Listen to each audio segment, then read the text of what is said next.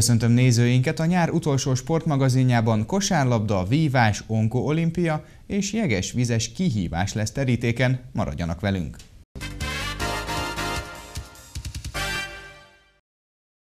Augusztus közepén megkezdte a felkészülést a PVSK Pannon Power NB1-es férfi kosárlabda csapata.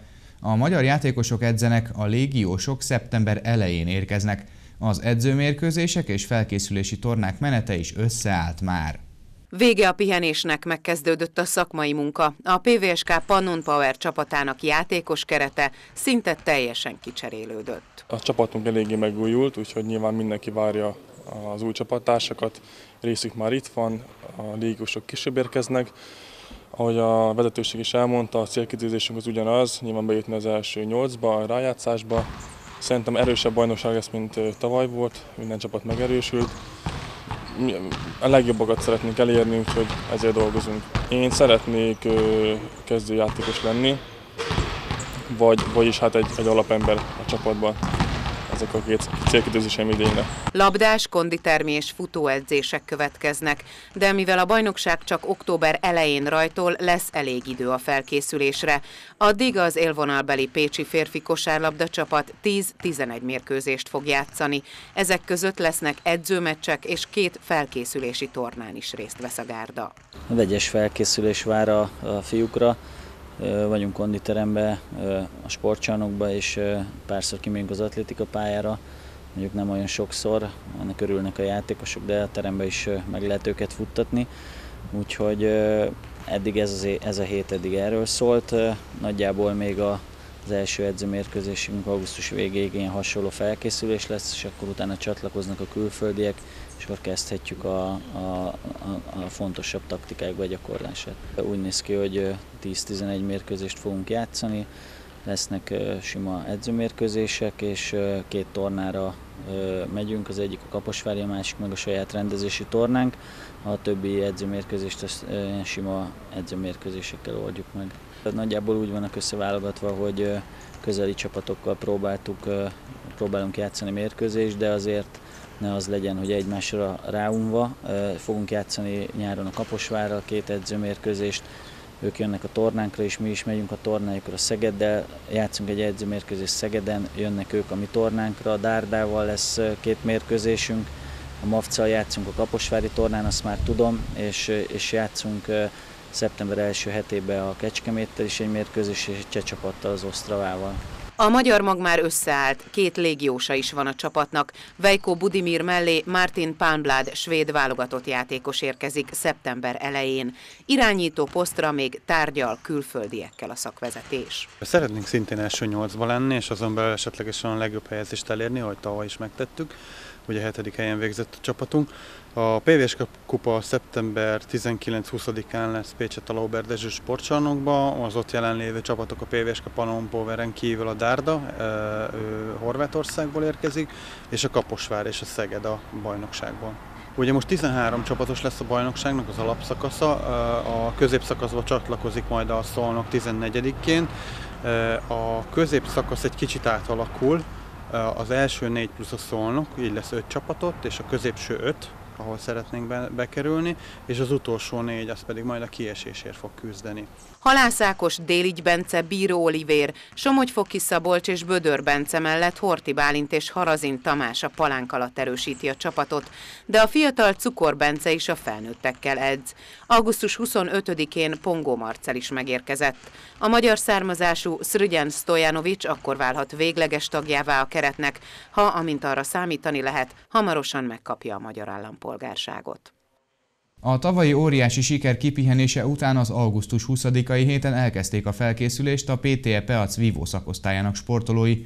Most még Pécsen edzenek, de utaznak majd Balatonberénybe is edzőtáborozni. A versenyzőkre idén már egy új versenyszisztéma vár.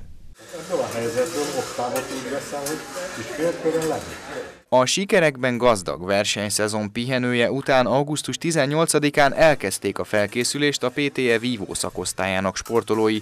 Egy hét pécsi edzőtáborozással indult a tréning. A hagyományokhoz szíven az augusztus 20-ai hétben, 18-án elkezdtük a, a Vivo edzéseket. Ez egy alapozó időszak, eh, ahol úszás, eh, a hullámba, aerobic spinning a mecsek fitnessbe, és itt a helyszínen pedig vívó edzés történik, napi három edzéssel, és ez tart egy hétig, illetve a Peteri Bence és a Tóth Gergely elmennek Keszthelyre, Hereklésztáborba hétfőtől, 25-től, mi pedig 21-ével vasárnap Erzsébet táboron, Balatonberényben, ahol egy 150 fős vívó edzőtábor lesz. Miután az egyik legjobb évet zártuk az elmúlt 150 évben,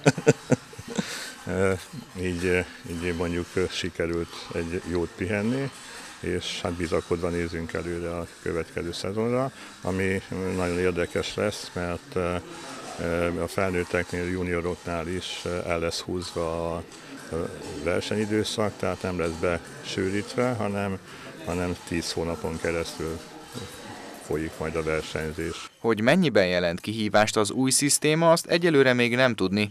Annyi biztos, kemény időszak elébe néznek a sportolók. Ez egy új szisztémát vezetett be a Nemzetközi Vívószövetség, és ehhez kell majd alkalmazkodni.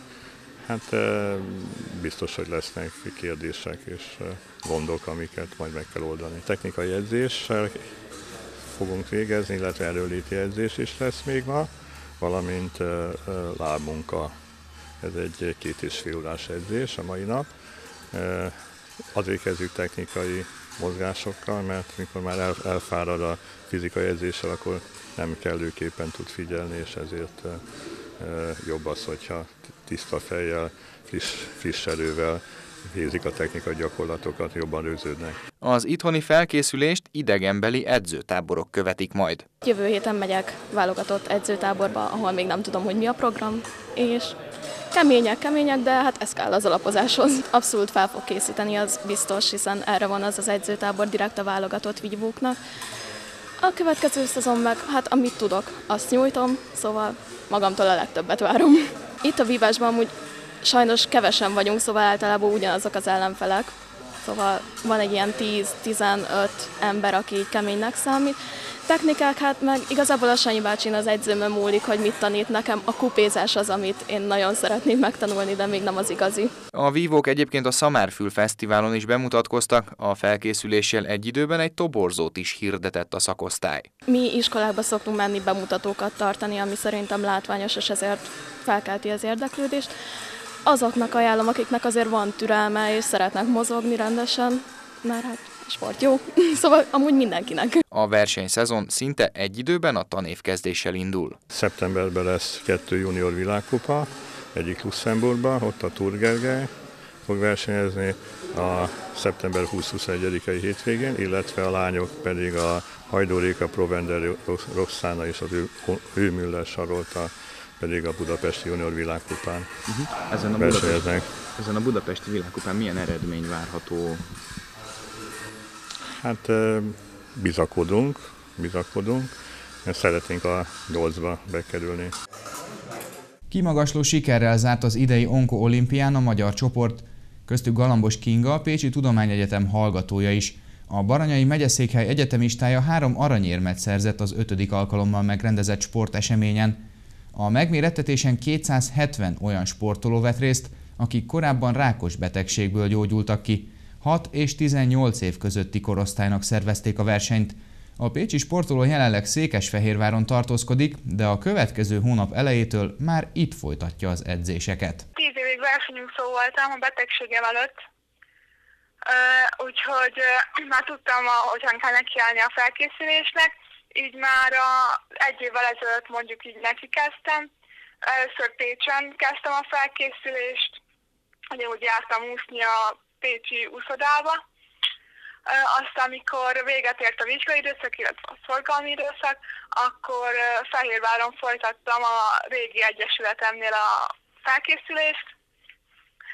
Az egész júliusomat végigedzettem konkrétan, és hát végül is nem tudom, igazából nem vártam el magamtól, de azért számítottunk rá, hogy így fog alakulni. Tényleg olyan volt, hogy egy igazi rendes nagy olimpiát megnyertem volna. Saját magukat öntötték nyakon jeges vízzel a PVSK Pannon Power kosárlabdázói. A soros edzésük után kapták a sportolók a hideg zuhanyt a Lauber Dezső sportcsarnoknál. Az Amerikából indult kezdeményezéssel a Lou Gehrig szindrómában szenvedők segítségét vállalták fel az ötletgazdák. A kezdeményezés egyébként Baranyában is futótűzként terjed, a pécsi kosarasok a Szemenfénye alapítványt támogatták. A sportcsarnok oldalsó bejáratánál várta a jeges víz, hogy a PVSK kosarasainak a nyakába zúdulhasson. Mindenki vödröt hozott, amiben a vizet és a jeget is beletették, edzés után kapták a sportolók a hideg zuhanyt. Elfogadtuk a Peac Pécs kosárlabda, női kosárlabda csapatának a, a meghívását, és uh, akkor kezdődjön a, az akció. Egy, kettő, három! Mindenki bőrig átázott a teli találattól, a csapat ügyvezetője azt mondta, részükről nem újdonság a jótékonyság. Mindenképpen ugye ez egy, ez egy korábbi kezdeményezés, ezt fogadtuk el a PEAC Pécs kapcsán a női kosárlabda csapat, aki kihívott minket, és ezt szeretnénk akkor tovább folytatni. Néhány alkalommal ugye szoktunk egy kicsit adakozni, de hát ugye a gazdasági helyzet, ezt nagyon nehezen tudjuk azért a mi költségvetésünket is összerakni, de ez egy teljesen új kezdeményezés, úgyhogy ennek állunk elébe. Nekem ugye csak személyes véleményem van, én annyira ezt nem tartom jó ötletnek, ezt az egész dolgot. Én azt mondom, hogy a, a kötelező adományozás soha nem vezet igazából szívből jövő adományozáshoz és nagyon úgy érzem, hogy a, nagyon úgy érzem, hogy, hogy a 80%-a ezeknek a mókázásoknak nem is vezet az adományozáshoz. Ugye ezt nagyon, mindenki nagyon nagy poénnak tartja. Én úgy érzem, hogy a mi csapatunk az ezen a bohockodáson kívül is szokta támogatni, akár a gyerekkórházba el szoktunk látogatni, ajándékokat vinni. Most is, mivel, mivel úgy érzem, hogy hogy akkor a hangsúlyt kap ez az egész mókázás, ezért persze belementünk mi is, ha már belementünk, akkor normális helyre próbáljuk felajánlani ezt az összeget, amit összedobunk, de mondom még egyszer, én alapjában véve én ezt nem tartom jó ötletnek. Egy, kettő, három! A csapat a Szemenfénye alapítványt támogatta, és egyúttal a kihívottakat is kihirdették. Kihívtuk a férfi válogatott játékosait, és ezzel szeretnénk sok sikert kívánni a mai Csehország elleni EB selejtező mérkőzéshez, és nagyon reméljük, hogy kijutnak az EB-re és a Pécsi Nemzeti Színház társulatát. Hogy miért pont őket, hogy legyen benne egy kis sport, egy kis mozgás, egy kis kultúra, hogy változatos legyen ez. Én úgy érzem, hogy Magyarországon most már elment abba az irányba, hogy, hogy ez is baj szerintem, hogy majdnem arra néznek fel, szemmel, aki ezt nem csinálja meg. Én mondjuk a Nemzeti Színház társulatától, hogyha nem csinálják meg, én azt mondom, hogy nyakböntés nélkül is, amit az elején mondtam, nyakböntés nélkül is lehet adományozni, de, de a, a másik két meghívottunk szerintem meg fogja csinálni. A kosárlabdások előtt egyébként egy nappal a PMFC Matthias labdarúgói is jeges zuhanyt kaptak.